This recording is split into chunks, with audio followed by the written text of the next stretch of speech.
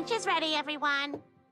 Whoa, whoa, whoa, whoa, Lo- Lois, Lois, this is this is white bread. Yeah, so? Well, don't we have any of that whole grain stuff? No, this was cheaper. I, I just, I just, I don't want Dylan eating white bread. Brian, there's nothing wrong with it. You- Our kids eat. Lois, Lois, I do not want Dylan eating white bread. Brian, I promise you, it's fine. Lois, It's- Lois, Lois, I will decide what is best for my child, all right? Look, will you take it easy? And, and, I do not want to have this conversation in front of my son. Okay, you know what? That's it, Brian. Feed him whatever you want. Tell tell you what, go up to my jewelry box, take my gold jewelry, melt it down, make it into bread, and feed him that.